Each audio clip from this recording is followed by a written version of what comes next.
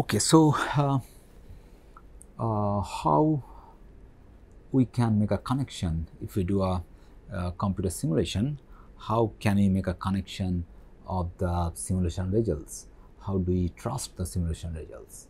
Um, and, and this is the link what um, uh, what uh, a computer simulator simulator uh, makes uh, with the with the experimental uh, data.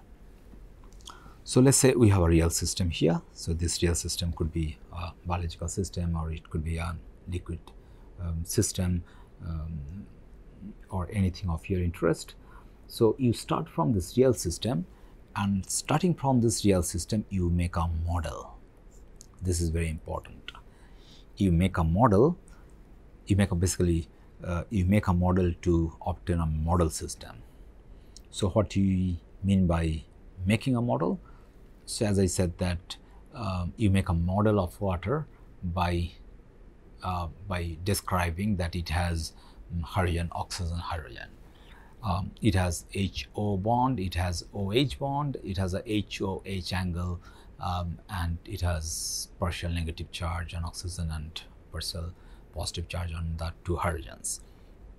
So, you make the model and that is your model system.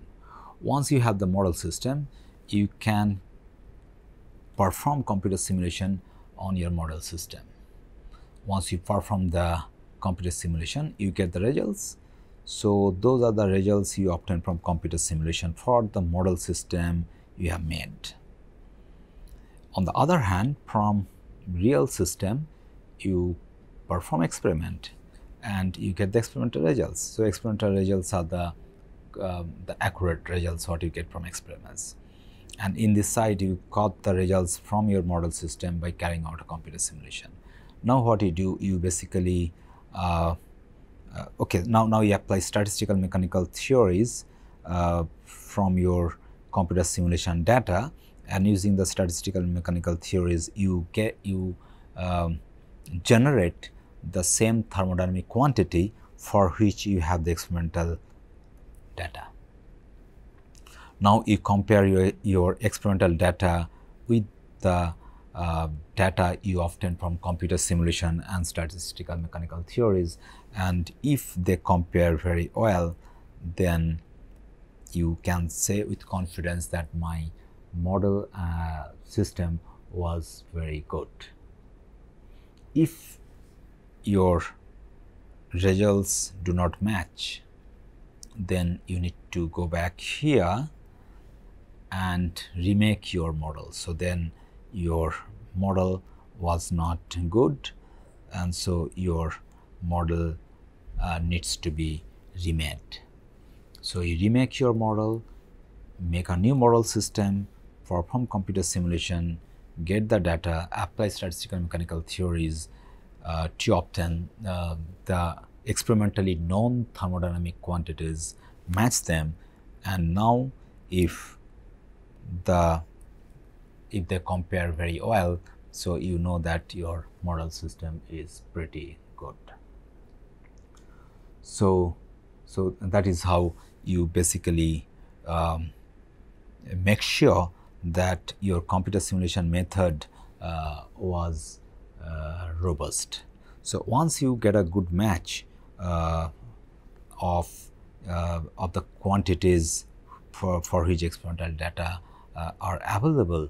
So, you know that my my simulation protocol and my models are good. So, once you get that uh, confidence that my uh, that my computer simulation was good, so you can further go uh, deep inside and often uh, more information uh, of the system which where other is difficult to obtain experimentally.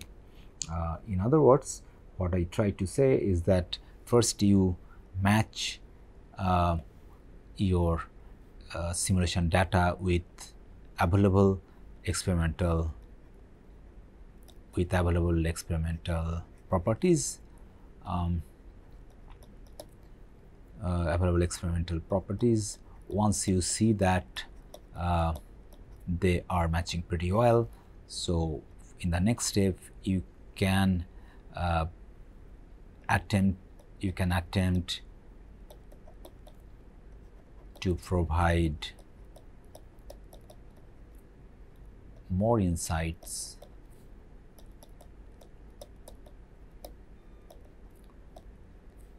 on the on the complex systems for which uh, on the complex system or phenomena